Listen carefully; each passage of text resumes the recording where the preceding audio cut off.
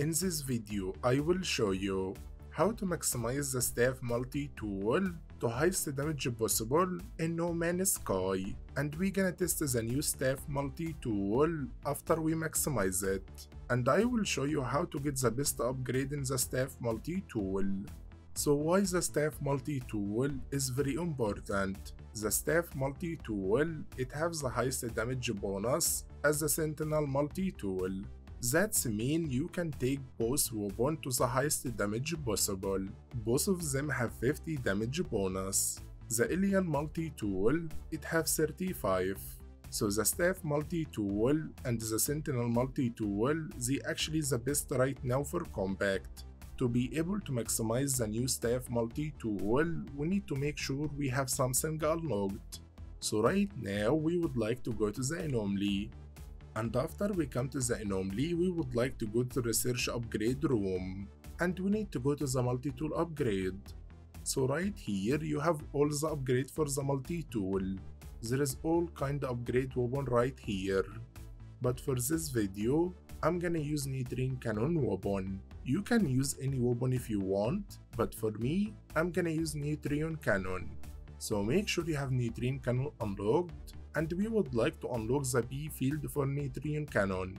We need to have right now any good staff S class.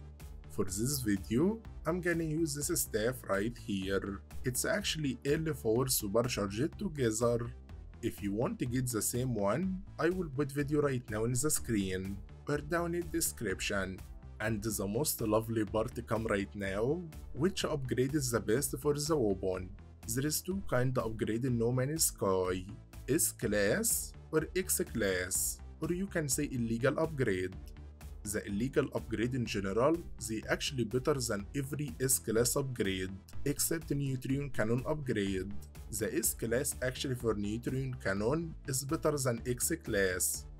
So right now we need to find this base station, it have Neutron Cannon S-Class upgrade. I'm gonna go search and I will get you the glyph after I find one. I just arrived at this space station, let's go to the multi-tool guy. And let's see right here. Yes, it have Neutron Cannon upgrade S-Class here. So we would like to buy it now. And after we buy it, we have one right here. We would like to get about 20 to 30 upgrade Neutron Cannon. It can be more, I don't know yet, until you get the best stats. To be able to buy again, you need to go to your shop and you need to create restore point and you need to reload restore point. As soon as you come back, you need to go to the shop again. And you can see we can buy the Neutron Cannon upgrade again. We can just buy it right away. And we have to upgrade right here. So we need about 20 to 30 upgrade of the same upgrade. So I'm gonna do the same thing until I get 20. I got 27 upgrade Neutron Cannon module. We need to go to the multi-tool. You can see the multi-tool completely empty and the damage potential 433. We would like to install in any empty area Neutron Cannon upgrade. We can just install it right here and it's done. After we install it, we need to put in any empty area the B field upgrade for Neutron Cannon. So we would like to open 3 S-Class upgrade Neutron Cannon module. So after installing 3 upgrade, let's look at them. The first one charged speed 33, that's actually bad. The Ion Sphere speed max and the Ion Sphere created max, but the damage actually bad as well, so that upgrade is not good. The second upgrade, the charging speed 35, the damage actually 10, it's also bad. The Ion Sphere created it's always max so this one already max. And the Ion Sphere speed is 12. That's actually very bad one. The last one, that's the one we're looking for. Charging speed 50, that's actually max. Ion Sphere speed 13, that's actually max. And the damage 14, that's max as well. So what you need to look for, you need to look for charging speed 50, and you need to look for damage 13 to 14, and you need to look for Ion Sphere speed 13 to 12. Anyway, this one is the best upgrade, we need to delete the other two. And I need to keep open upgrades until I get the best 3. It might take a while, and I might need to buy upgrades again. I got the best 3 upgrade here, it actually took longer than I thought.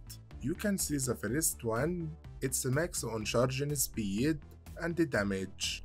Ion Sphere speed is 11, it's almost max but it's okay. What really matter most is charging speed and the damage. And the next one charging speed is max and Ion Sphere speed 12 and damage 13. It's almost max but it's a great one. So this one we already saw it. So what to do now? You can see the damage almost 47,000 and we didn't even put them together yet we would like to take Neutron Cannon to there, and we would like to take the B-Field upgrade next to the Neutron Cannon in the Supercharged, and the 3 upgrade S-Class here, we would like to put them in the 3 Supercharged, and we are done. And you can see the damage now over 150,000 and now you have the highest damage neutron cannon. This is staff multi-tool, it's not even the best one, so the best part about it, let's test it out. I want to show you my compact setting on the highest. So all we need to do now is test it out. Enjoy the test.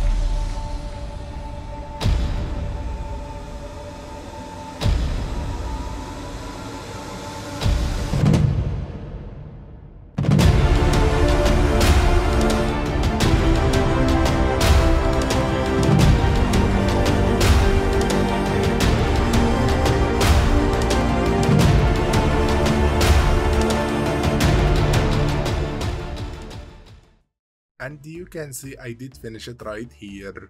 I barely even got hit. Look at my health right now.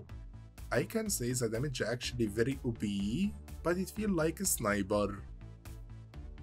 I have no idea what is happening right now. I think this is the final boss. I feel like charging should be little faster comparing to the damage it have. It's really very OP. After maximizing the new multi-tool staff, if you want to get the best exosuit upgrade in No Man's Sky, make sure to watch this video, it will show you how. I love you guys, and see you guys next time.